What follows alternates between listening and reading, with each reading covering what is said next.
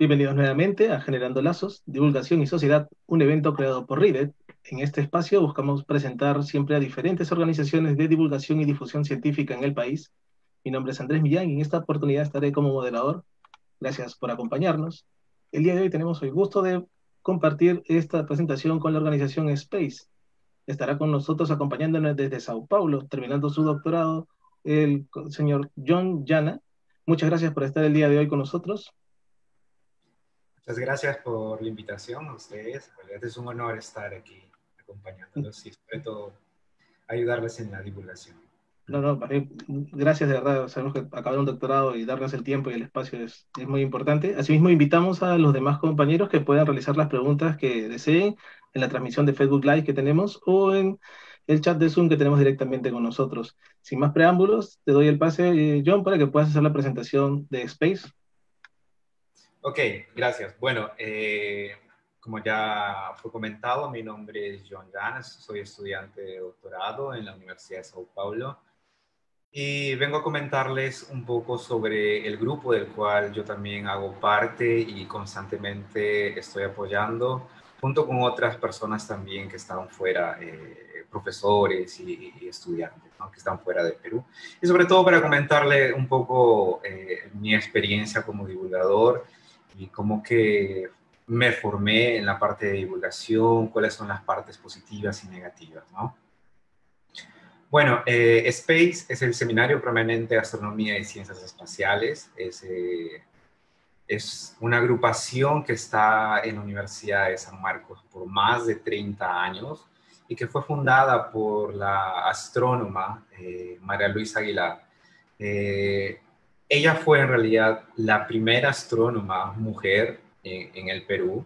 ¿no? Ella hizo estudios de graduación en la Universidad de La Plata, en Argentina, y luego regresó a Perú para hacer ciencia, ¿no? Y sobre todo para fundar, digamos, eh, los primeros pasos de la astronomía, ¿no? Entonces, ella lo fundó hace más de 30 años en la Universidad de San Marcos, en una época en la cual eh, física ya existía, ¿no? Y, es importante ella entrar eh, como mujer ¿no? dentro de la universidad, porque por el hecho de ser mujer, ¿no? tuvo varias dificultades, tuvo varias, varios desafíos, ¿no? pero sin embargo consiguió hacer muchas cosas, ¿no? y entre ellos es este Space y los alumnos que vienen eh, después de esta, de esta fundación. Entonces, Space está en San Marcos hace más de 30 años y fue fundada prácticamente por María Luisa, que eh, descansa en paz eh, en el, desde el 2015. Eh, la misión de Space es institucionalizar la astronomía profesional peruana en el Perú desde hace más de 30 años están intentando, eh, digamos, formar lo que es una escuela profesional en, eh, eh, en San Marcos. ya hay algunos resultados que más adelante les voy a comentar. Y sobre todo ha tenido bastante éxito formando astrónomos profesionales. yo soy uno de los, que, de los últimos que la profesora María Luisa formó. Y así existen muchos otros astrónomos eh, que inclusive eh, se quedaron fuera trabajando. Uno de ellos está en Estados Unidos como profesor, otro es mi supervisor aquí en la Universidad de Sao Paulo, él es profesor aquí. Entonces, eh, por Space hemos pasado muchísimas personas y muchísimos astrónomos han sido formados gracias a, Space. ¿no? Entonces, otra misión también es hacer que la astronomía peruana sea reconocida a nivel eh, nacional como una eh, herramienta para eh, el desarrollo del propio país, ¿no? sobre todo para hacer entender a las personas y a los políticos en general de que hacer ciencia es el camino correcto para que el país se desarrolle, ¿no? No solamente en astronomía, obviamente, ¿no? Ciencias en todo. Eh, otra misión también importante, eh, ya lo comenté, ¿no? fundar la, la, Escuela Académica Profesional de Astronomía, que ha sido un objetivo desde hace muchos años y hay astrónomos en en San Marcos y olvidé decir que el director es el profesor Teófilo Vargas, ¿no?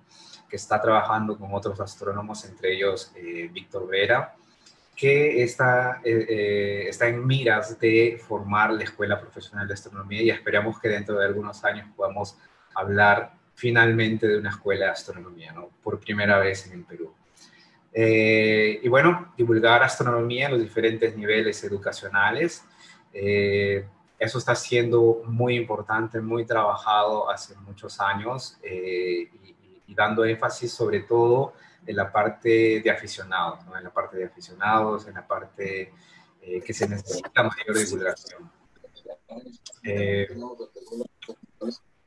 Bueno, eh, eh, tenemos también eh, otras visiones de Space, ¿no? Que, son visiones a futuro, que sería hacer referencia, ¿no? Queremos que no solamente Space, sino la astronomía en el Perú, con todos, con todas las organizaciones, porque hay muchas organizaciones, universidades, tipo la UNI, la Católica, que también tiene profesores trabajando en astronomía, el IGP, CONIDA, ¿no? Y la idea es que todos eh, se junten para hacer eh, astronomía eh, a nivel de ciencia de calidad, ¿no? a nivel de competencia para la vista de, científicos en el exterior. ¿no? Y sobre todo, es algo importante mencionar que es una pena que, que, en Perú, ¿no? y sobre todo en San Marcos, que fue fundada hace más de 500 años, pues no tengo una escuela de astronomía, ¿no? Y, es una pena porque si nosotros vemos nuestra cultura, eh, nuestra cultura netamente incaica, ¿no? Eh, y, antes de eso, inclusive, ¿no? es netamente astronómica. Entonces es una grande pena, digamos, que no tengamos una, una formación astronómica ya desde hace algunos años, es una de las visiones y objetivos de, de Space, ¿no? Y intentamos también liderar con lo que se puede, ¿no? Proyectos innovadores eh, de alto nivel académico y competencia internacional. Eh, eso se logra gracias a, las personas o a, los que fuimos formados ¿no? en Space, estamos fuera, entonces nosotros estamos ayudando a que nuevos eh, astrónomos se formen en Perú, que puedan conseguir una, una, beca y hacer una maestría, hacer un doctorado, ¿no? Entonces es uno de los objetivos también de Space. Y bueno, al final esperamos trabajar con todas las organizaciones, eh, universidades, institutos, eh, en una sola fuerza para que eh, astronomía surja en el Perú y, sea formado de una vez, digamos, de forma profesional, ¿no? los integrantes somos 12 integrantes, en realidad 12 estudiantes actualmente en San Marcos que están trabajando con el profesor Teófilo, están trabajando conmigo también, ¿no? Eh, tenemos eh, al profesor Teófilo Vargas, que es el director, eh, tenemos apoyo internacional también, entonces los alumnos están en constante formación de astronomía y están siendo asesorados también para hacer su respectiva tesis, ¿no? Y con eso también los alumnos, lo primero que aprenden a hacer es divulgación, porque hace 30 años, hace más de 30 años, siempre todos los viernes, y voy a hablar de ese proyecto más eh, dentro de poco, eh, se ha realizado los viernes astronómicos eh, de forma casi ininterrumpida, ¿no? Entonces los alumnos hacen mucha divulgación, entonces Space es experto, digamos, en hacer bastante divulgación con pocos recursos y siempre, siempre de buena manera, ¿no? Eh, ex alumnos, como les comentaba, es el profesor Jorge Meléndez, quien es mi eh, supervisor. Eh, yo hice la maestría y estoy culminando actualmente el doctorado con él. Él se formó en Space, ¿no? y él también hizo aquí la maestría, doctorado y después se volvió profesor, ¿no?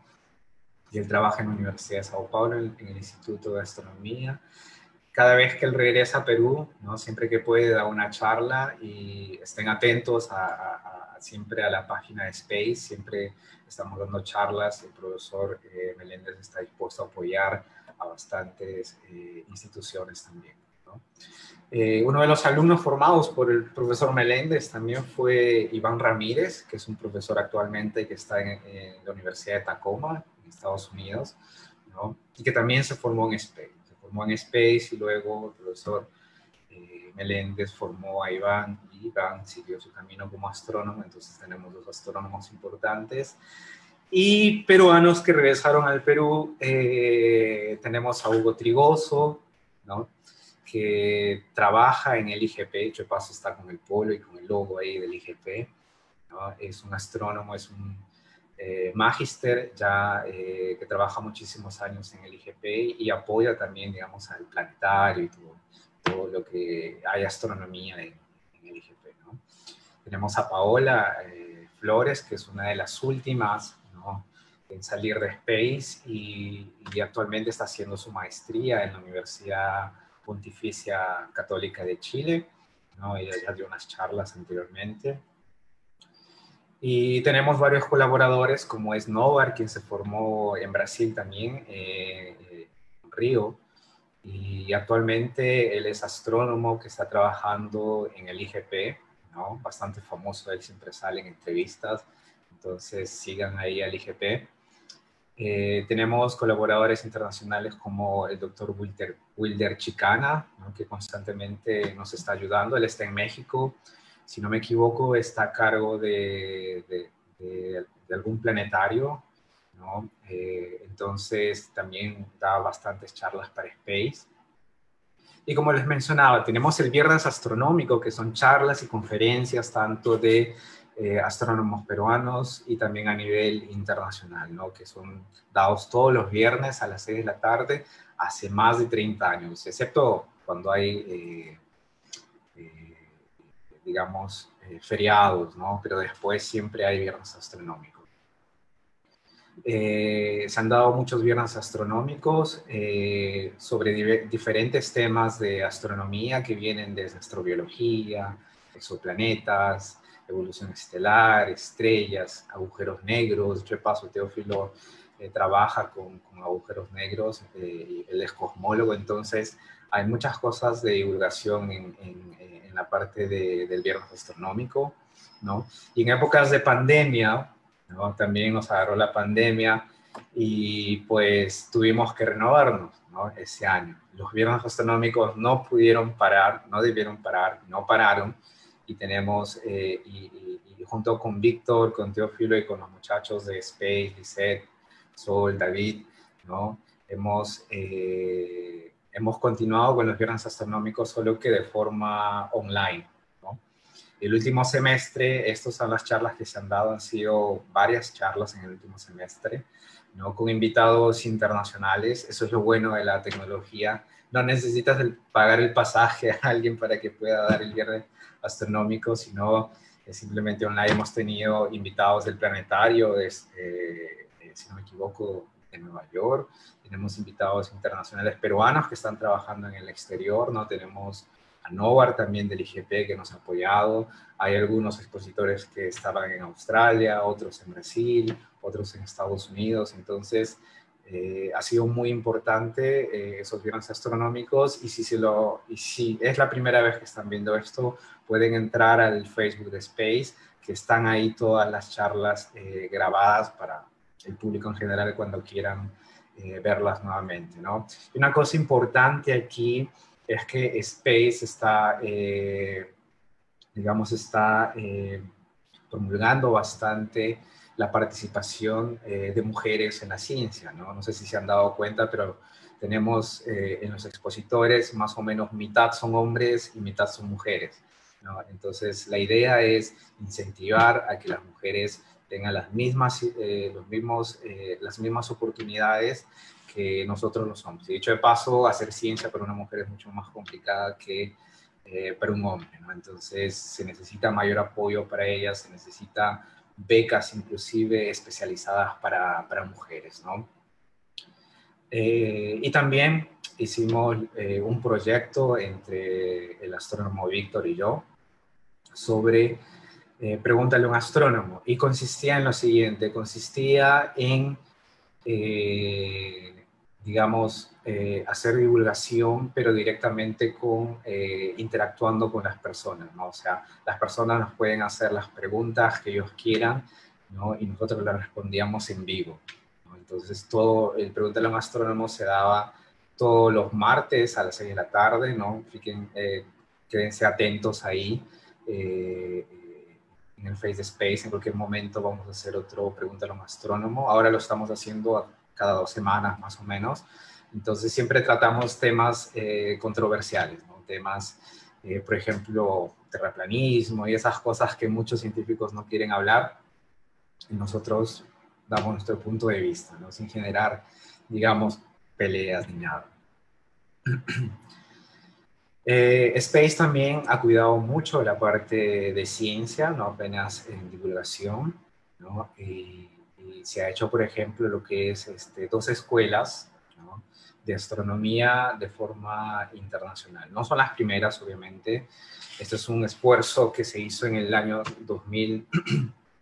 2015, 2016 más o menos, en el cual eh, tuvimos apoyo de, por primera vez, ¿no? Eh, nos juntamos con el IGP, tuvimos apoyo de, astrónomos del IGP, inclusive mi supervisor fue también para, para, para Perú y así, ¿no? Eh, hicimos la primera escuela de astronomía con el tema de estrellas ¿no? Eh, y evolución estelar. Se, hizo una segunda escuela también ya más, más eh, enfocada en, en, astrobiología y búsqueda de exoplanetas, que es un tema interesante hasta ahora. ¿no? Probablemente las charlas y todo deben estar eh, en algún lugar de, la página de Space, pueden buscarlo por ahí. Eh, estas son algunas fotos del evento. Tenemos a mi supervisor que estaba dando la introducción ¿no? con el fondo de Marolisa que había fallecido un año anterior. ¿no? Se dieron varias charlas especializadas eh, en astronomía. ¿no? El profesor Teófilo también está allí, ¿no? dando su charla con un montón de ecuaciones en la parte de cosmología. Estoy yo que, estaba, que recién había acabado la maestría y estaba explicando un poco mi trabajo, ¿no? y, colaboración siempre, ¿no? del IGP con Novar y con, Hugo Trigoso. ¿no? Y esta fue la foto final, ¿no? Eh, cuando ya se terminó el evento. Y bueno, esperamos que después de la pandemia hayan futuros eh, escuelas de astronomía. Space también eh, trabaja en el área de divulgación con, otras instituciones, como ya lo había comentado, y participa de eventos eh, astronómicos que son organizados por otras instituciones, como es el Día de la Astronomía. Eh, el Día de la Astronomía es un día en el cual se celebra astronomía, digamos, en, en Perú, y por lo que tengo entendido, yo he participado hace algunos años, se suele hacer en el campo de Marte, ¿no? Entonces se ponen varios stands, cada, cada agrupación de la UNI, el IGP y demás, ¿no? Hacen unas charlas, una serie de charlas y divulgan eh, lo, que ellos mismos hacen. Entonces nosotros participamos, los estudiantes van, obviamente, después de haber sido eh, instruidos, ¿no? De haber llevado algún curso de astronomía, van y hacen divulgación. También hay otros eventos en los cuales se participa mucho, por ejemplo, los 100 años de la Unión Astronómica Internacional, ¿no? donde fue un día de puros eventos a nivel mundial, y San Marcos con Space eh, hicieron ese evento durante un día con muchas exposiciones de astronomía eh, y divulgación ¿no? para el público en general. Eh, como ya les había comentado, Space está impulsando a que las mujeres en ciencia sean reconocidas y con eso eh, digamos, animar a las, a, las, a, las, mujeres, a las chicas que están haciendo graduación para estudiar eh, astronomía, ¿no? porque hay poquísimas mujeres eh, estudiando ciencias. ¿no? Uno va, por ejemplo, a San Marcos, ¿no? en la Facultad de Ciencias Físicas. En la época que yo estaba allá, habían poquísimas. De cada 10 hombres, tal vez una mujer, tal vez, y eso ya era mucho. Y no es algo que se ve aquí, por ejemplo, en la Universidad de Sao Paulo, aquí en astronomía. hay muchas, eh, mucha presencia de mujeres. Entonces, una de las ideas es eso, ¿no? es impulsar en el Perú a que eh, las mujeres estudien ciencias y no solamente astronomía, sino todo, ¿no? Eh, partiendo de la idea de que la fundadora de Space fue mujer, ¿no? Entonces tenemos que impulsar esas cosas también.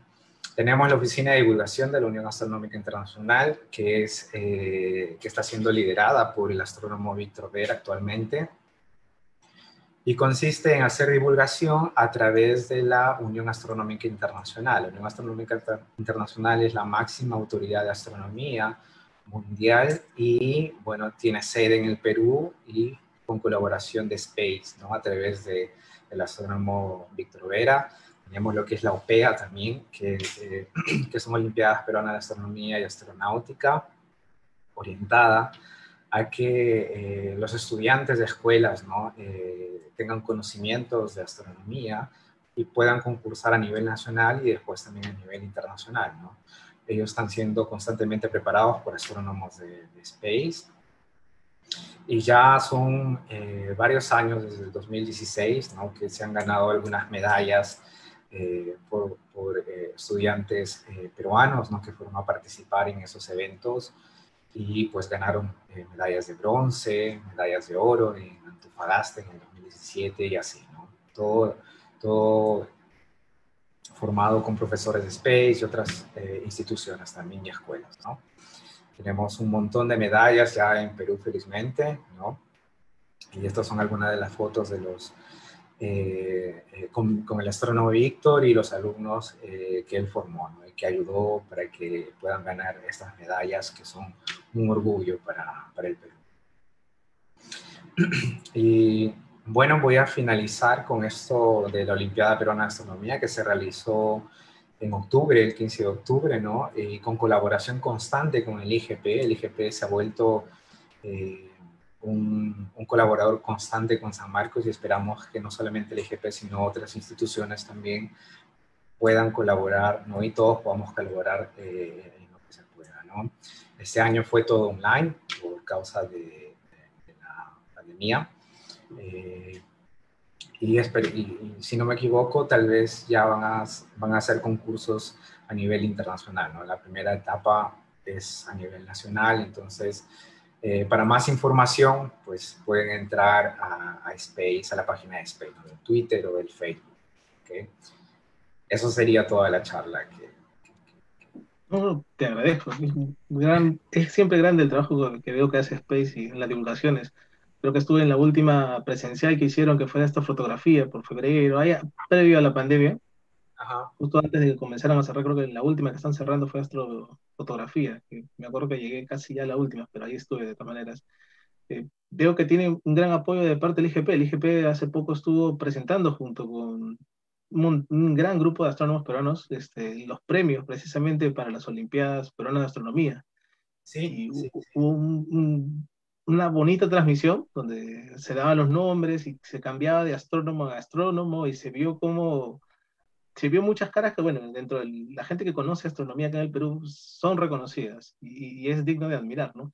precisamente ese apoyo que ustedes reciben de parte de otras instituciones, ¿a qué creen que se debe el apoyo de, que han logrado debido a, su, a la coyuntura que ustedes tienen ahora? No tienen una gran presencia en divulgación, no solamente en la parte de astronomía, creo que si buscan un referente siempre de ciencias, voltean a verlos ustedes. ¿Cuál crees que ha sido, qué atribuyen que han conseguido ese tipo de apoyos? Eh, una cosa que nosotros, eh, digamos, los jóvenes, vimos eh, en muchos años pasados es que existe, digamos, lo que se llaman las islas de divulgación, ¿no? Cada institución quiere hacer su propia divulgación, ¿no? O se preocupa por hacer una divulgación solamente, digamos, con su grupo, ¿no? Entonces, la idea hace ya algunos años eh, fue, ¿no? Incluir todos, ¿no? Y está funcionando con el IGP, eh, con, esas ideas, ellos también comparten esas ideas.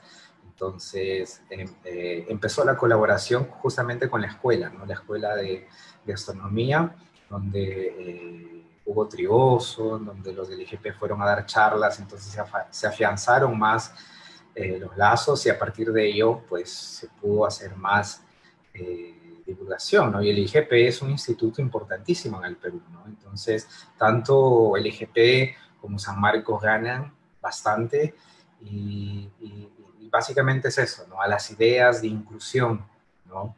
De inclusión y no solamente ver divulgación por institución, sino hacer divulgación como un todo, ¿no? Porque eh, divulgación es una sola, ¿no? No importa dónde lo hagas, divulgación es divulgación. ¿no? Y, si se tiene el apoyo eh, conjunto de todas las instituciones, es muchísimo mejor, ¿no? Entonces, yo personalmente pienso que es eso, ¿no?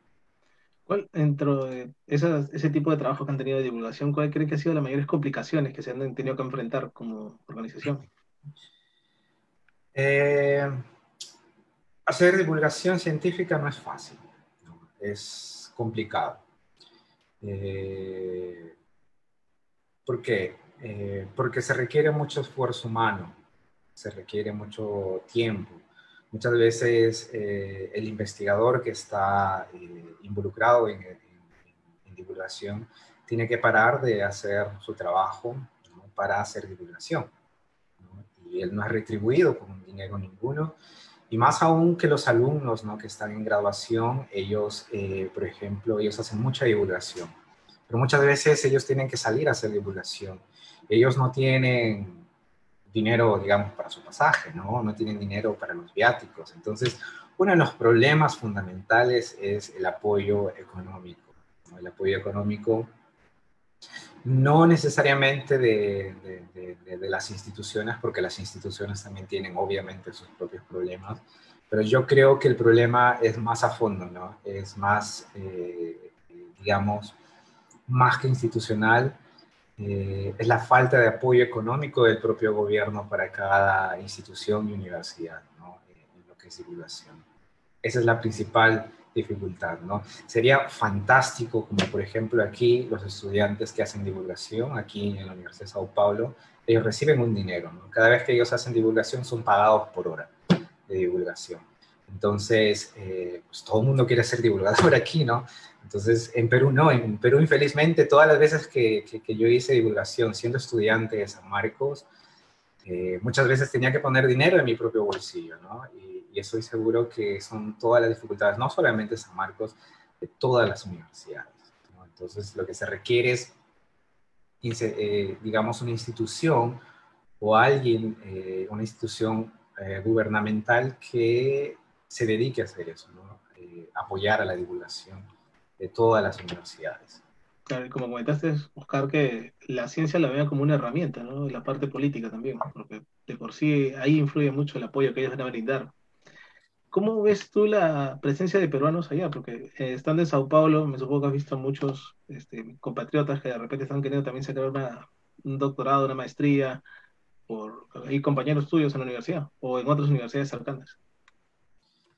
Eh, hay muchos, hay muchos este, peruanos aquí en, Sao Paulo y en general en Brasil. Eh, creo que en cantidad hay más colombianos y luego vienen más peruanos estamos en segundo lugar en cantidad de, peruanos. Hay muchos amigos que están haciendo maestría, doctorado, no necesariamente en astronomía, ¿no? Eh, están en diferentes universidades y siempre la idea es de regresar a Perú para poder hacer divulgación o, digamos, para poder eh, trabajar allá y, y, diseminar todo lo que nosotros hemos aprendido aquí, ¿no? Porque cuando uno está afuera realmente uno puede comparar y decir, no, mira, aquí yo cuando era estudiante no había esto en Perú, ¿no? Y a mí me gustaría que haya este apoyo. Entonces yo voy a regresar a fundarlo, digamos. Yo quiero hacer eso. ¿Consideras que hay esta gente una fuga de talentos? O sea, que hay muchos extranjeros, muchos peruanos que están ya no volviendo, ¿o crees que son de todas maneras regresando? No, los que regresan son pocos. De cada 10 que regresan, eh, es así, de cada 10 que regresan, uno se queda. ¿Por qué? Porque los otros nueve, de los otros nueve, tres comenzaron a trabajar ahí y no consiguieron, digamos, una vacante como profesor o en alguna institución porque son limitadas, y, los otros, pues, simplemente se fueron porque no había más oportunidades. Entonces, eh, lo que se requiere, digamos, en el Perú, para que haya una buena divulgación, también es una, que hayan plazas para, para eh, las personas que regresan ¿no? y quieren hacer ciencia en el Perú. Eh, el principio es así y funciona en todo el mundo. vacantes para profesores en las universidades son muy limitadas, sobre todo en Perú. Uno tiene que esperar a que un profesor se jubile ¿no? Para que esa vacante entre a concurso y, una persona regrese y, ocupe esa vacante, ¿no? Entonces se requiere más. Eh, necesitamos muchas cosas en realidad, no solo en la parte de divulgación, sino también en la parte científica, apoyo, ¿no? Para aquellas personas que, quieren regresar, ¿no? El Perú va a ganar mucho, ¿no? Porque el Perú, generalmente la persona que sale fuera, que hace su maestría y doctorado fuera, ¿no? Eh, el Perú no, invirtió nada en, en la formación de ellos, ¿no? no dio ni un sol para que esa persona tenga su maestría en su doctorado. Quien pagó eso fue el país que recibió a esa persona. Entonces, si una persona viene con sus títulos o va a Perú con sus títulos, ¿no? Y, Perú no lo recibe adecuadamente, pues Perú está perdiendo porque está dejando ir a una persona súper capacitada en la cual no invirtió nada. Y lo puede tener ahí en Perú, así, digamos, gratis, ¿no? O sea, no, pagó nada. Y, eso fue un principio aquí en Brasil. En Brasil eh, la ciencia saltó de un momento a otro exponencialmente debido a eso. ¿no? Y dijeron, ¿por qué voy a invertir en formar a los estudiantes? Porque eso me va a dar tipo 10 años, 20 años. Mejor traigo a, todo, a todos esos estudiantes o, o aquellos que ya tienen maestría, doctorado, que están esparcidos en toda Latinoamérica, los traigo aquí, yo no pagué nada para formarlos, pero ya son doctores, yo solamente pago su salario y esas personas se quedaron aquí, ¿no? Y Brasil empezó a, subir bastante, ¿no? Entonces, es algo que el gobierno tiene que ver, ¿no? Es algo que el gobierno tiene que cuidar muchísimo. Con, con ese tipo de, de, necesidad, ¿no? De buscar una inversión en lo que es ciencias, ¿tú crees que la ciencias en Perú, la parte investigativa, está descentralizada o está focalizada de parte por ramas? Mira, yo voy a hablar un problema fundamental desde mi punto de vista eh, en Perú.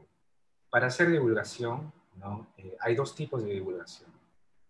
La primera divulgación que se hace es la divulgación científica, en la cual tú haces tu investigación y la divulgas en una revista internacional, ¿no? Y tienes un lenguaje, digamos, técnico, ¿no? Especialista de tu área y todo. La segunda parte, como, o la segunda forma como se hace divulgación es a través de la divulgación, eh, digamos, para aficionados o para las personas que no entienden del tema, pero están interesados. Ese es el problema, que no sabemos hacer ese tipo de divulgación. Y cuando un periodista contacta a una persona experta, digamos, no sé, digamos en agujeros negros, y le dice, explíqueme sobre ese fenómeno del agujero negro, ¿qué es una singularidad? pues ese profesor va a agarrar, bueno, singularidad, ¿se acuerdan de la ecuación de Einstein? Pues agarras esto, que el otro, que no sé qué y tal, pues la persona que está viendo no va a entender nada. Entonces, hacer divulgación no es fácil, hacer divulgación es difícil. Hacer divulgación es, eh, es un aprendizaje que uno, que, uno, que uno lleva, ¿no? Es un aprendizaje a cada momento. Cada entrevista que uno tiene a veces mete la pata con, con, con respuestas que tal vez no tienen nada que ver, ¿no? Es un aprendizaje constante. Y eso está, eh, eh, no está muy valorado en el Perú, porque justamente por eso es que no hay inversión en, ciencias, porque los propios científicos no se han preocupado por vender su ciencia a, digamos, a la sociedad ni al gobierno. Porque si el gobierno entendiera que la ciencia es importante, ¿no? Pues invertiría un montón de dinero, así como lo hace Estados Unidos, así como lo hace Brasil, ¿no? Invierte un montón de dinero porque los científicos se han preocupado por hacer que los gobernantes entiendan que es importante. Pero en Perú es culpa nuestra que no existe esa, esa, esa inversión, ¿no?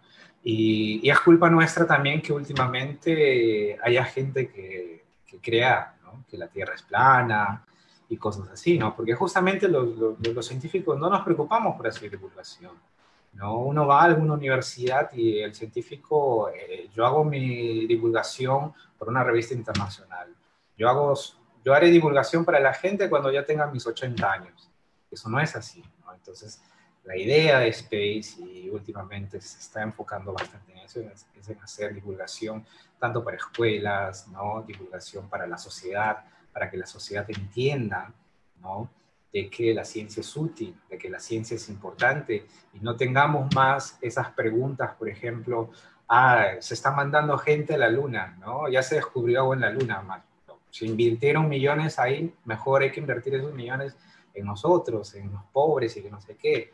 Claro, tiene, tiene cierta lógica, pero eh, cuando tú inviertes en ciencia, pues estás haciendo que la ciencia avance en su máximo nivel. Y eso va a tener consecuencias positivas para la sociedad. Por ejemplo, esos celulares que tú tienes, tu cámara que se habla de píxeles y demás, ha sido gracias a la astronomía, ¿no? esos grandes telescopios que se tienen en Chile, por ejemplo. ¿no? Toda esa tecnología es pasada para los, inclusive para la salud. ¿no? Y, y es culpa nuestra, ¿no? Es, una, es un mea culpa, digamos. O sea, como un primer consejo para una entidad que quiera comenzar con divulgación es aterrizar los conceptos a un lenguaje más amigable. Exacto. Como un primer punto de partida. Exacto, exacto. Eh, hacer, hacer divulgación es muy complicada, es muy complicada. Muchas veces eh, yo me he topado, por ejemplo, aquí existe lo que se llama atendimiento al público. Una vez a la semana siempre viene una escuela de algún, de algún lugar, una escuela pública, privada, y nosotros tenemos que enseñarles el instituto y luego le damos una charla y todo, ¿no? Y en plenas charlas, a veces niños de 6, 7, 8, 10 años preguntan cosas que no sé responder, ¿entiendes? Y es un aprendizaje porque después uno busca y dice, pues este preguntó tal y yo ya sé que voy a responder después. Y muchas veces el lenguaje que uno tiene es, es complicado. No todos tienen esa capacidad o esa habilidad de, de tener un lenguaje simple y de hacer llegar a las personas tu mensaje. Y no solamente eso, sino eh, hacer que esta persona se quede con esa curiosidad, con estas ganas de seguir en ciencia como dice Neil deGrasse Tyson, ¿no? dijo que una vez que los científicos son niños que se siguen haciendo preguntas. Exacto, exacto. Uno de los grandes eh, divulgadores fue, eh, después de, antes, digamos, de, Tyson, es Carl Sagan, ¿no? Entonces, eh, si uno ve sus videos, por ejemplo, tiene un lenguaje sensacional. Las personas lo entendemos rápidamente. Bueno, en ese tiempo yo tenía que verlo tres veces para entenderlo, pero eh, eh, tiene un lenguaje fantástico. Él ya tiene, eh, no sé, hay un video en donde él muestra, por ejemplo, cómo se midió el radio, el, radio de la Tierra. Sí, yo también recuerdo ese. siempre que evoco, me acuerdo de ese cuando empieza a poner una carta y empieza a doblar dos, dos lapiceros o dos cartillas que pone y, y, con eso empieza a explicar cómo se comenzó la idea de medir el radio de la Tierra. Exacto, y, y eso hace, hace muchos años, en los años 70, 80, ¿no? Un, divulgación, o sea, con un poder de, llegar a las personas. Y dicho de paso, yo cuando vi la serie Cosmos fue porque realmente dije, yo quiero, yo quiero hacer astronomía, ¿no? Yo quiero hacer astronomía. Entonces, eh, y, cuando comento eso, por ejemplo, a otros amigos, ¿no? Que a veces uno se va a un bar, toma una cerveza y pregunta, ¿no? ¿Por qué estás haciendo astronomía? Ah, porque fui... Eh, porque yo vi Cosmos y tal, y dicen, ah, pues sí, mira, ese astrónomo, yo también lo conozco y me incentivó y por él también que estoy aquí. ¿no? Entonces, es fundamental porque esa persona, mira, llegó desde el año 80, ya murió y todo, pero sin embargo me inspiró a hacer astronomía y otras personas también. Entonces, ese es el objetivo de la divulgación, ¿sabes?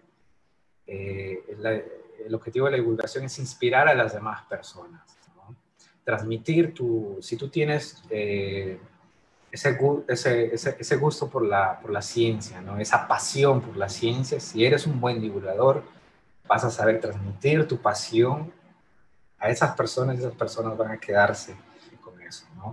Y como sucede en Estados Unidos, por ejemplo, ellos han tenido buenos divulgadores ¿no? y gracias a eso pues eh, se tiene una buena inversión en lo que es ciencia.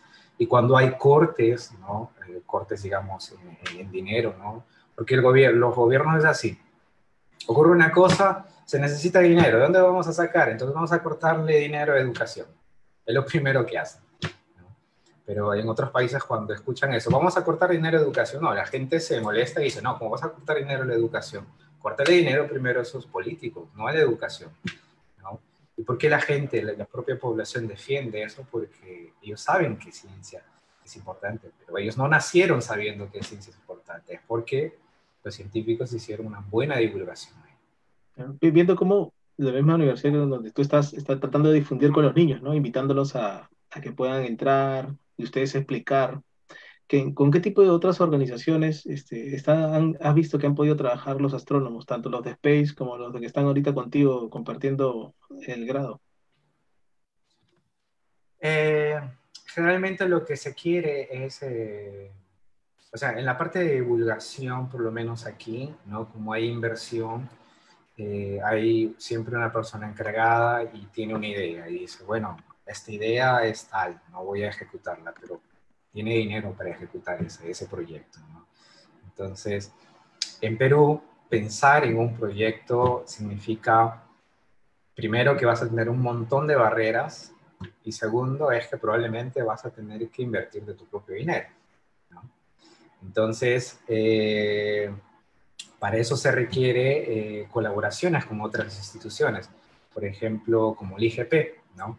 El IGP tiene telescopios que San Marcos no tiene, el IGP tiene ambientes que San Marcos no tiene, el IGP tiene un planetario que San Marcos no tiene, pero San Marcos es una institución, eh, es una universidad, ¿no? En donde se hace mucha investigación y, en el IGP pues se hace una investigación focalizada en un tema específico. En San Marcos, donde San Marcos se hace todo.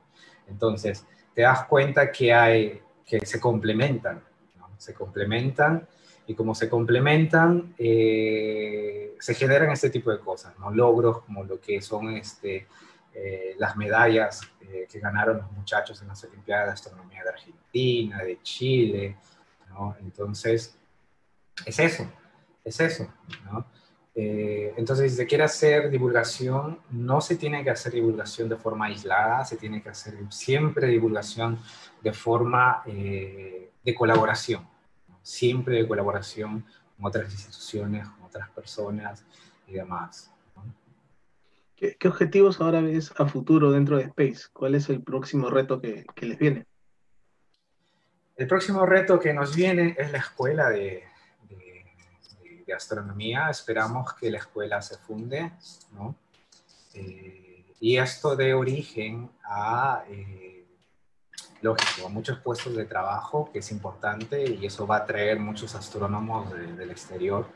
Y dos, eh, que, que, se formen astrónomos en, el Perú, ¿no? que se diga, bueno, aquí existe la carrera tal cual profesional de astronomía. Yo me formé en Perú en astronomía. Esa, es, esa, esa, esa, esa sería, digamos, el mayor desafío que nosotros estamos intentando abordar. ¿Lo dices en el mundo de ya conseguir el grado de magíster, por ejemplo? No, no, no, no. Fundar la escuela de astronomía, así como existe la escuela de física o la facultad de física. Dentro de la facultad de física está la escuela de física y la escuela, de mecánica, ¿no?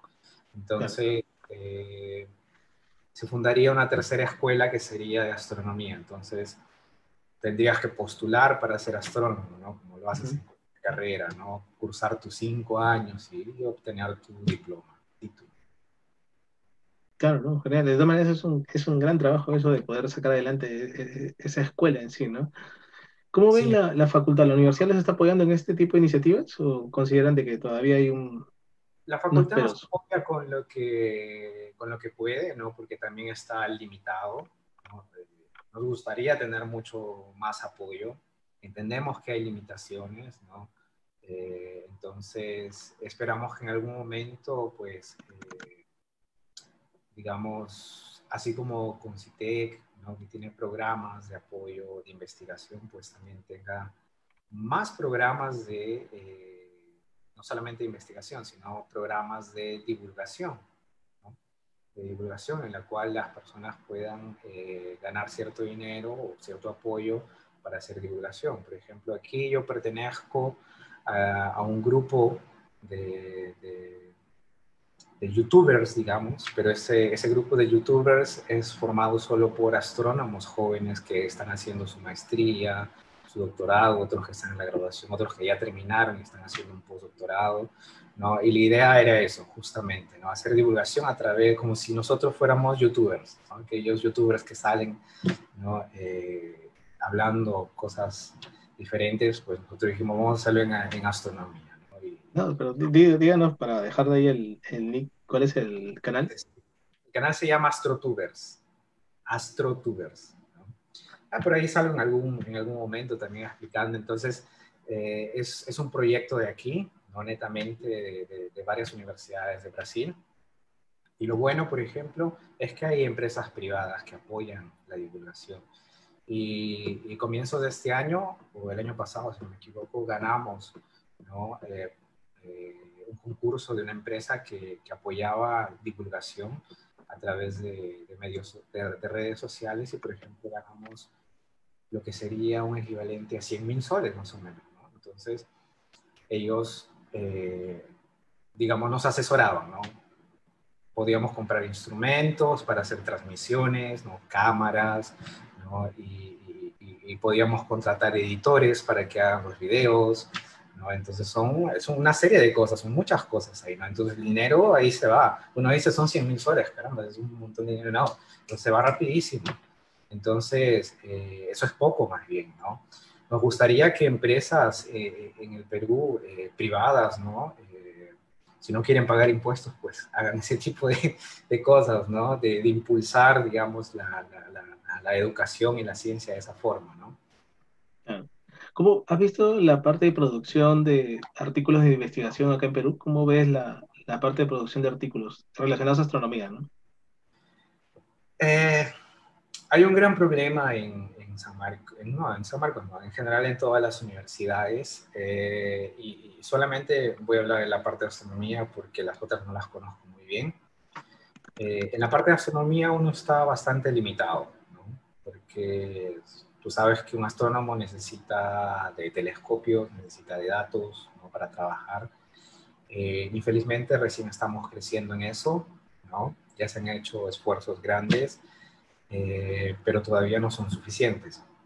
Entonces, generalmente cuando uno regresa a Perú, eh, regre regresamos, se regresa a enseñar y hacer poquísima investigación justamente porque hay esa limitación.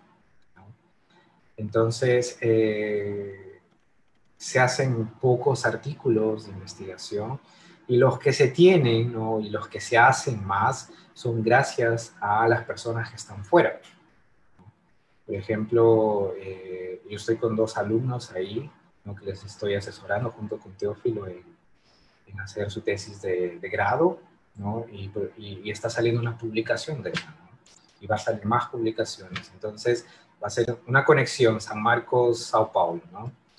Eh, y estoy seguro que la mayoría de investigación que se hace en las universidades es a través de colaboraciones, ¿no? porque realmente estamos bastante limitados.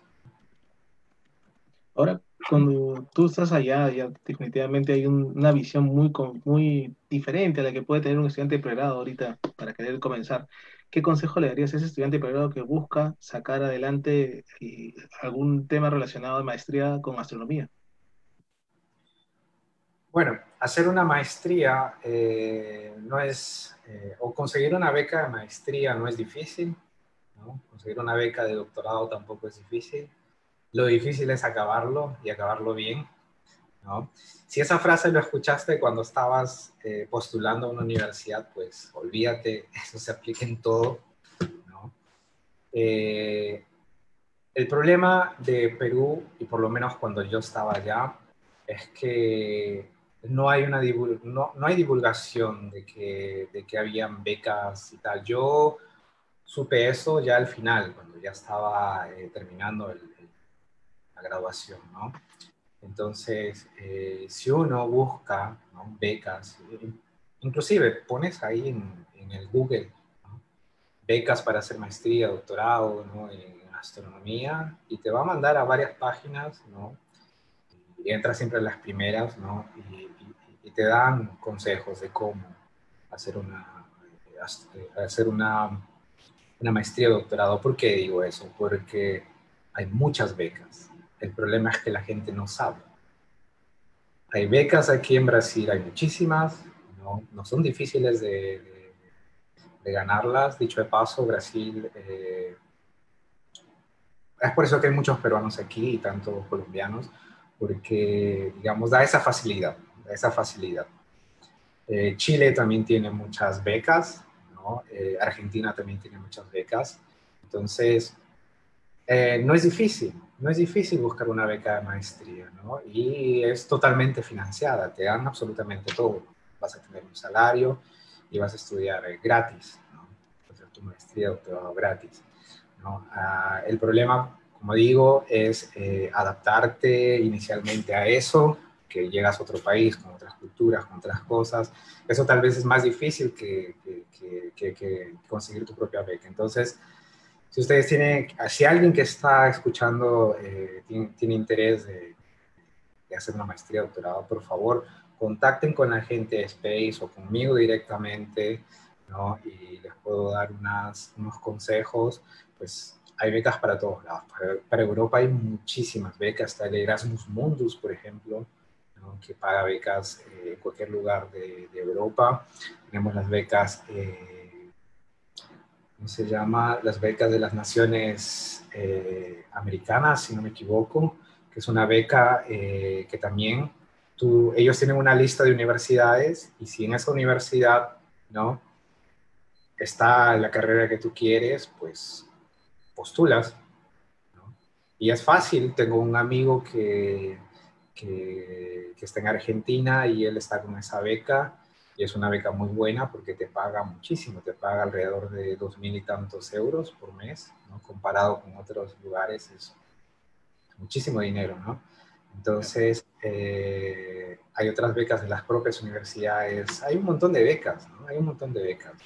El problema es que la gente no sabe que existen esas becas.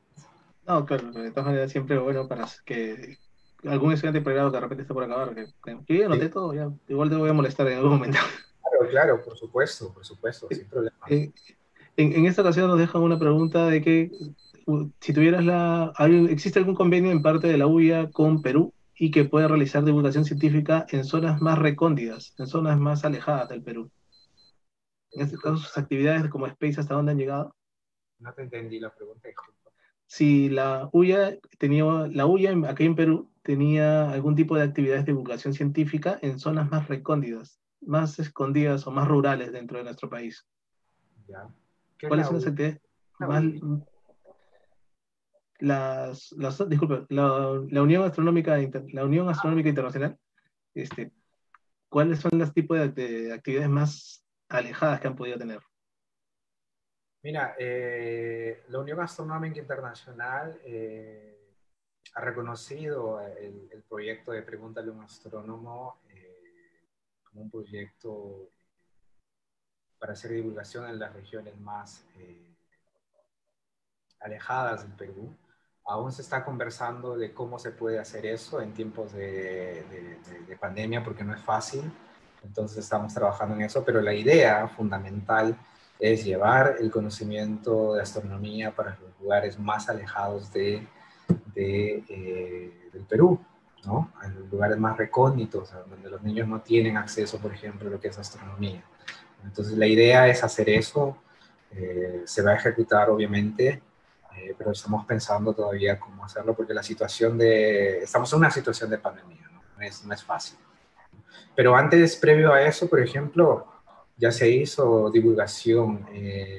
Cuando yo estaba en la graduación, se hizo divulgación en el 2009. Llevamos astronomía eh, a un pueblito llamado Kenamari, que está más o menos a cuatro mil y tantos metros de altura, en, el interior de Cusco, casi en los límites de Puno. Entonces llevamos allá astronomía y fue una experiencia fantástica. Fui yo con, la profesora María Luisa y otros astrónomos de Europa también, ¿no? y llevamos lo que es astronomía. Entonces, la idea es hacer eso, ¿no? La idea es llevar a, esos niños ¿no? que no tienen recursos. Eh, eh, o hacer divulgación con ellos. Corrígeme si me equivoco, San Marcos tiene un espacio que les brinda un pueblo en Cusco, no me acuerdo ahorita el nombre, donde tienen o transportan siempre un telescopio para hacer observaciones desde ahí. Eh, no lo sé, no sabría decirte. No, estoy al tanto. ¿Cuál, ¿Cuál es otro tipo de iniciativas en cuanto a astronomía que estén realizando otros compañeros dentro de aquí en, Perú que tengas contacto? Eh, cuando uno eh, busca astronomía en Perú, eh, las principales instituciones son muchas. Por ejemplo, la UNI tiene un grupo de astronomía también en paralelo, como San Marcos. Ellos también hacen mucha divulgación. Está o estaba José Ricra, si no me equivoco, ahí, ¿no? El grupo de física de San Marcos, exacto, el grupo de física de San Marcos, no, disculpa, grupo de física de la UNI, eso. Ahí hacen un grupo de, de astronomía, hay muchos profesores que se formaron aquí en Brasil regresaron allá y siempre tienen ese apoyo, ¿no? Tenemos a CONIDA también, ¿no? Eh, que está haciendo divulgación, la Agencia Aeroespacial de, de Perú, ¿no? Eh, tenemos al IGP también que de forma independiente con su planetario también hace divulgación, ¿no? Eh, tenemos a la Católica también, eh, hay una profesora, no, no, recuerdo su nombre, que también hace divulgación, creo que ellos trabajan en radioastronomía, entonces hay mucha astronomía en el Perú, solamente hay que saber buscarlo, ¿no? Porque también es un poco difícil tener acceso. Una pregunta que nos dejan también por parte del Facebook es, este, ¿por qué la idea de crear una escuela de astronomía, existiendo la escuela de física en San Marcos? Básicamente, ¿cuál sería la diferencia entre las mallas curriculares de ambas escuelas? Eh, las mallas curriculares serían iguales hasta el segundo o tercer año, tal vez, ¿no? Y después, eh, es como aquí, aquí en Sao Paulo existe eh, la escuela de astronomía, aquí, y, física, pues todo astrónomo tiene que conocer física, ¿no? Entonces son cursos normales hasta tercer año y luego ya son los cursos específicos, ¿no? Por ejemplo, en astronomía no se da lo que es eh, física estelar, ¿no? En Space se da, ¿no? Cada cierto tiempo porque se requieren alumnos para formar, pero por ejemplo no hay un curso de especialidad en las diferentes áreas de astronomía, ¿no? Cursos que, cursos que netamente son de astronomía y que no es de física. Es uno de los problemas que yo tuve, porque yo me formé en física, ¿no? llevé algunos cursos de astronomía, sí, pero cuando llegué aquí a Sao Paulo a hacer la maestría, pues todos los cursos eran de astronomía y los profesores en su cabeza tenían de que todos los alumnos ya habían llevado astronomía en la graduación, porque es así aquí. Si tú haces física, puedes llevar cursos de astronomía aquí. Y pues tuve que leerme todo lo que tuve que estudiar para, para nivelarme, digamos. ¿no? Entonces, si uno quiere ser astrónomo sin, sin, sin, sin, pasar por una escuela de astronomía, puede hacerlo, sí. ¿no? Hay muchos, la mayoría de peruanos ha pasado por eso, si no todos. Eh, pero tener una escuela de astronomía eh, va a eh, impulsar la especialización netamente en astronomía es diferente a, física. otra pregunta que nos dejan también aquí en el Facebook es acerca de que ustedes mencionan que tienen apoyo de empresa privada. ¿Cómo fueron las coordinaciones para obtener eh, y qué obtuvieron a cambio? Eh, esa parte lo está liderando eh, Víctor Vera con esto de las Olimpiadas, ¿no? hay, una, hay, hay, apoyo, hay apoyo, creo que es, ah, está aquí, ¿no? Infinitum y Concitec. No es Concitec, sino es Concitec, ¿no?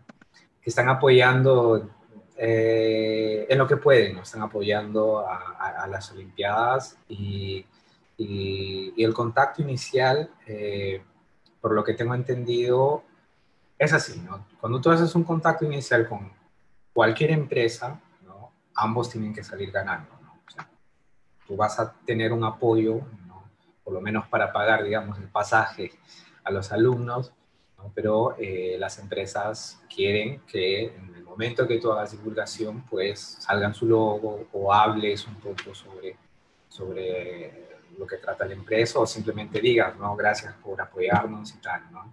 Entonces, es un buen comienzo, es un buen comienzo, porque generalmente si uno se da cuenta, eh, les voy a dar un claro ejemplo, eh, hay un telescopio eh, en Hawái eh, del observatorio Keck, Y el observatorio Keck, ¿no? Eh, tiene en realidad dos telescopios de más o menos 10, no, 8 metros de, de diámetro. Y pues tener un telescopio cuesta mucho dinero. Estamos hablando de millones de dólares. No se hubiera podido construir ese telescopio si no hubiera sido por la ayuda de eh, ayuda privada y por el apoyo fundamental de un millonario, ¿no? que dio un montón de dinero y, gracias a eso le pusieron Kek. ¿no? Kek es el nombre de este millonario. ¿no? Entonces, si hay algún millonario en Perú que nos quiere apoyar, por favor. Entonces, ese tipo de cosas, ¿no? Eh, de la parte privada, de las empresas, es muy importante para la divulgación. Y sepan que las empresas, ese dinero no se está yendo para mí, no es mi, no es mi, no es, mi sueldo, ¿no? es que el profesor va a agarrar y va a decir para mí. Ese, ese sueldo o digamos ese dinero que está entrando es para hacer divulgación, ¿no? Sepan que ese dinero es para pagarle un almuerzo a un estudiante que está haciendo divulgación ese día. No ganará su dinero, no como se gana aquí, pero por lo menos va a tener su almuerzo, va a tener su pasaje entonces, en eso es basado ese apoyo, ah, Una pregunta más que nos dejan es, este, ¿con quién pueden contactar para realizar un convenio y poder llevar divulgación científica a niños en zonas rurales? Comentando por el tema de Space, ¿no? Y porque es parte de una asociación de jóvenes y quisiera recibir ese apoyo. Ok, eh, tienen que entrar en contacto con Víctor Vera o con el profesor Teófilo Vargas. Eh, todas las informaciones, eh, o puedes entrar al, Facebook de, Space, ¿no? Y mandar un email, está el email ahí de, Space, no recuerdo cuál es, o simplemente mandar un mensaje al Facebook, ¿no? Y, decir así urgente para que te respondan, ¿no? Urgente. Eh, necesito tal cosa y ahí, o el correo de, de Víctor Vera, o con alguien con quien conversar y pues pueden tratar con ellos directamente, ¿no? Ellos son los responsables de, ese proyecto. Ok, si alguna persona de lo que está escuchando la transmisión y quiere ser parte de, ustedes, este, apoyarlos en lo que es Space, ¿qué debería hacer? Si son estudiantes, ¿no? Eh, ahora existe un, un proceso, ¿no? Eh, que, parte de una entrevista también, pero una entrevista simple, Para los estudiantes, ¿no? Que hacen ciencia una entrevista simple de por qué quieres hacer ciencia, cosas así, nada, nada de evaluar currículum porque no se evalúa el currículum. Y sobre todo para evaluar el comprometimiento, el compromiso ¿no? que, que, se tiene con la divulgación. Entonces, eh, mayores contactos, entrar nuevamente en contacto con, con, el grupo de Space, conversar directamente con ellos. Ahora, si son personas que no son estudiantes y quieren ayudar, también hay esa parte, no van a pasar por, por eh, una entrevista obviamente, pero hay personas, por ejemplo, de Cusco y de algunos otros lugares que eh, están apoyando a, Víctor en lo que es eh, la OPEA, ¿no? De, las Olimpiadas, ¿no? Y hacen divulgación, por ejemplo, esas cosas que salen en el Facebook de Space, ¿no? De que el telescopio va a pasar, el, el telescopio espacial Hubble va a pasar por aquí, o si la luna va a estar en tal posición aquí. Eso es hecho justamente por la colaboración de esas personas, ¿no? Entonces, entren en contacto, toda la ayuda es bienvenida, ¿no? Y muchas gracias por el, comprometimiento, eh, por el compromiso que ustedes ¿no? Eh, tienen y quieren ayudar en la divulgación, que es importantísimo. No, te agradecemos a ti, bien por la presencia y tus palabras finales para poder eh, concluir ya con la entrevista. Muchas gracias por la invitación. Espero eh, seguir colaborando con ustedes, ¿no? Y a la gente que, nos está viendo, eh, continúen con, eh, continúen siguiendo este proyecto de divulgación que es importantísimo y busquen información sobre astronomía o sobre ciencia, no se malinformen, ¿no? eviten entrar en páginas porque cualquier persona puede escribir en, en, en, alguna página cualquier cosa, el mismo Wikipedia, tú entras y encuentras cosas que no son correctas, que no están bien, entonces puedes entrar a tanto en contacto con gente de la UNI, con gente de, de, IGP, que van a estar contentos en, en, eh, en ayudarte, ¿no? Y una última cosa, yo nunca fui a un, ah, fui, pero fue este año a un planetario en Chile. Fue la primera vez que fui a un planetario en Chile, eh, en mi vida. Existe un planetario en Perú, en el IGP. Ellos hacen eh, paseos virtuales, charlas virtuales, vayan, infórmense, conozcan más sobre astronomía en el IGP ¿no? y en las diferentes instituciones también. Así que eso es mi, finalizo con esas palabras.